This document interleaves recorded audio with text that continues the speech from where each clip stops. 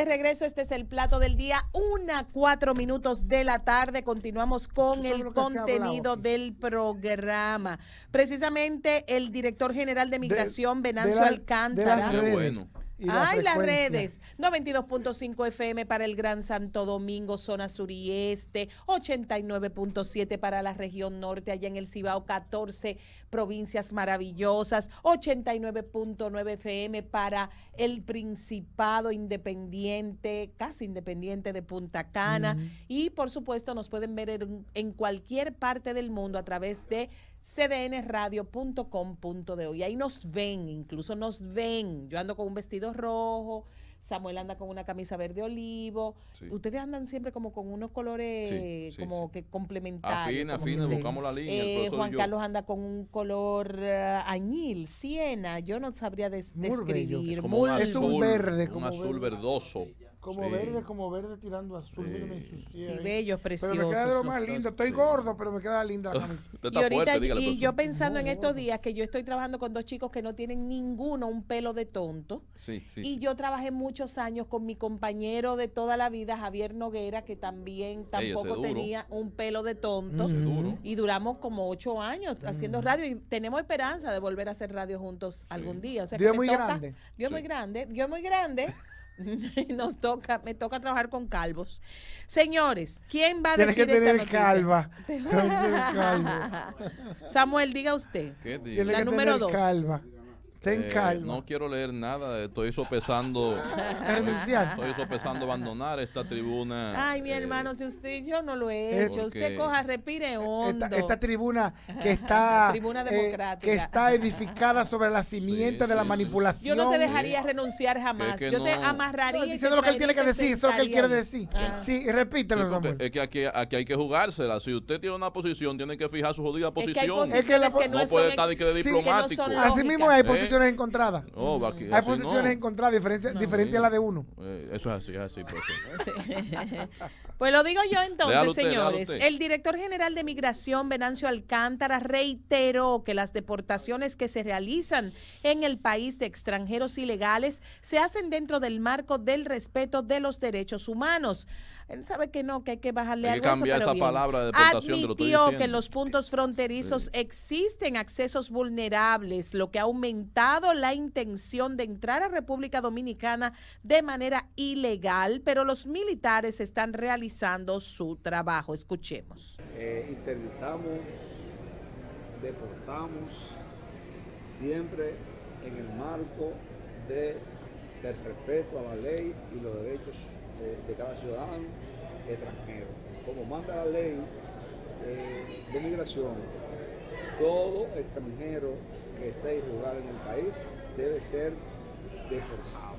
Y en ese sentido nosotros estamos trabajando, nosotros no tenemos ninguna presión, eh, estamos cumpliendo con nuestro deber y al día de hoy no hemos tenido mayores inconvenientes con el desarrollo. Gracias. La... la situación que tiene aquí, ¿no ha aumentado la cantidad de presencia de ellos por la situación bélica que hay allá? Bueno, eh, yo digo que sí, ha, que ha aumentado, tal vez, ha aumentado la intención de ellos. Porque la verdad es que el ejército está haciendo su trabajo en la frontera y ha evitado un gran flujo de, de ingresos haitianos. Naturalmente ustedes saben que la frontera tiene más de 40 puntos de acceso ilegales por donde, entran los eh, haitianos eh, al país. Sin embargo, eh, ha habido una vigilancia permanente por parte del ejército y algunos de nosotros los hemos interditado, en tres ocasiones hemos interditado tanto en Asua como en Piña. Ustedes han visto por la prensa que en Piña una guagua agarramos con 27, en Asua agarramos 17, 18 cuando vienen por ruta que podemos eh, localizarlos. Algunos se escapan, pero nosotros los atrapamos en las ciudades y los enviamos a su país hermano. Alcántara aseguró que continuarán con el cumplimiento de las leyes del país en lo referente a su política migratoria. Bueno, excelente. Pero que bueno, el guion. Sí, sí, sí. Y en otra pero que cambien el guion y que digan la verdad. Sí, claro. Que tampoco, ni es, ni es que lo estamos llevando abrazado y con, mira, toma tu, tu, bolsita de refresco y tu, y tu, ay, toma. No, no, así no es. Pero eh, de que tenemos que hacer cumplir nuestras leyes, sí. Claro, claro todo el derecho del mundo. Claro que tenemos el derecho, tenemos más, más que el derecho a la obligación. Claro. Nosotros necesitamos dar una imagen de un, de un país ordenado, de un país que tiene leyes, de un país que respeta las leyes. De un país además que se administra bien, porque si en tu casa nada más caben para dormir dos camas, dos personas, tú no puedes acotar 14. Si en tu casa solo hay comida para lo que queda del resto del mes, para comer todos los días dos personas, tú no puedes meter 24. Punto. Tan simple como eso. Es matemática simple.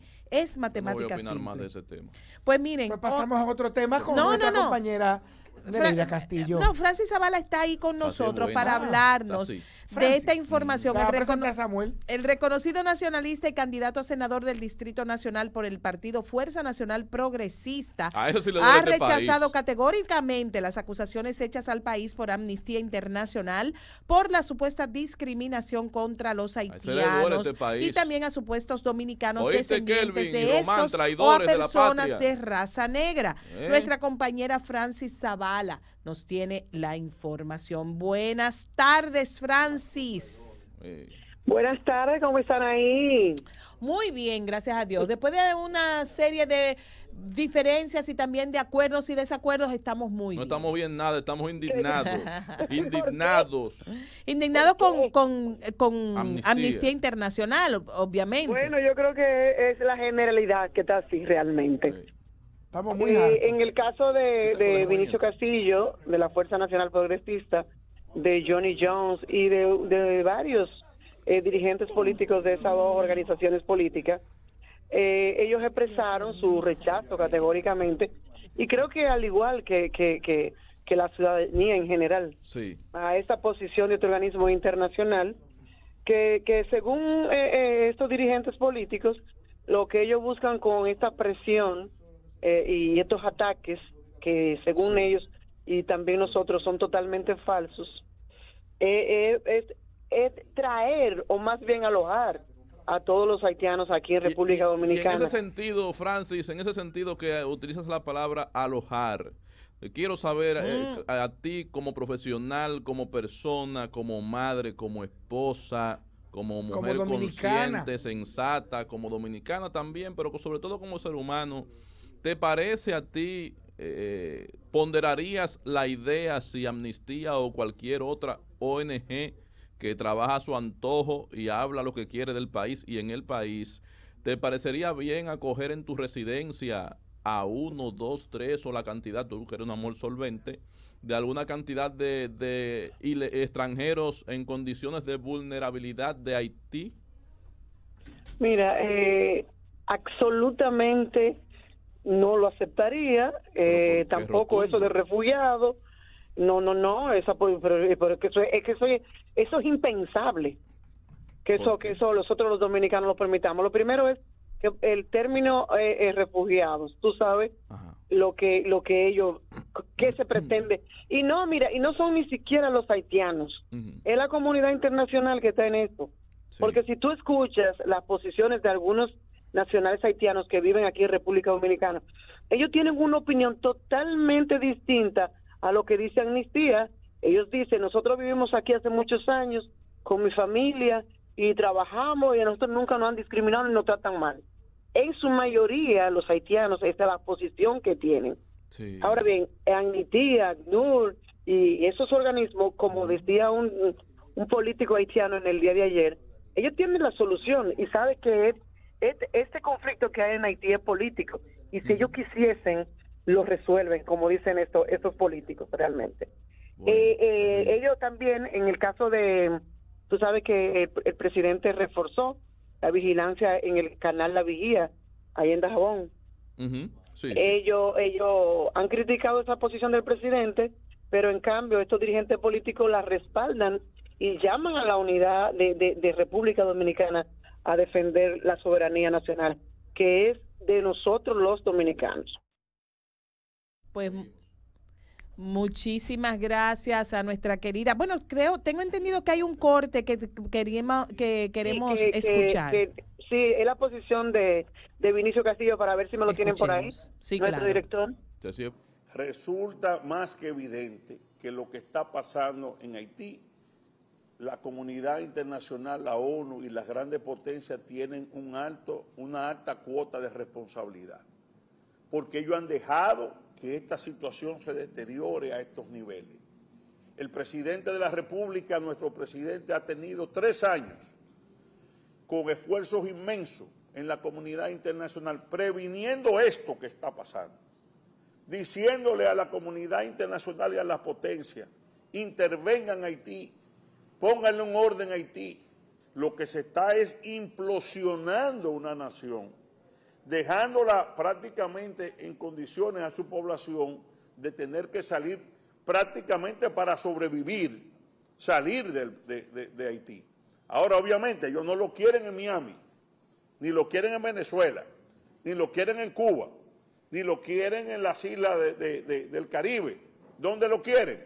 En la República Dominicana. Por eso estas presiones de amnistía, por eso lo que está, ustedes están viendo en una semana, quiere que los recibamos a todos como refugiados. Y lo dice, la misma carta de amnistía lo dice y lo plantea, que eh, cuestionando el derecho de la República Dominicana a hacer repatriación y a cumplir su ley de migración.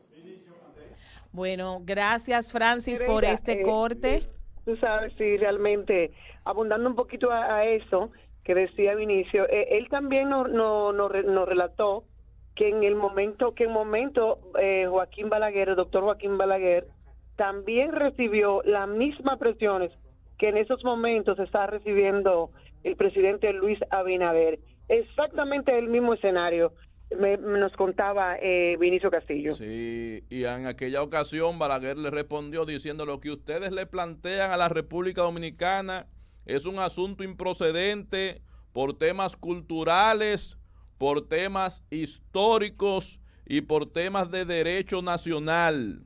¿eh? que no se puede ceder en lo que no vamos a, a, a, a, recaer, a doblegarnos, a permitirlo de ninguna forma. Pero gracias a Dios, el presidente Abinader también se ha mantenido con un discurso coherente, por lo menos ante los medios de comunicación. Bueno, pues gracias a Francis Zavala por esta este reporte y bueno, eh, llegamos al momento de irnos a una pausa. No, me parece muy sensato que Francis haya aceptado llevarse cuatro es que, Dios mío, Señores, regresamos en breve. Este es el plato. El plato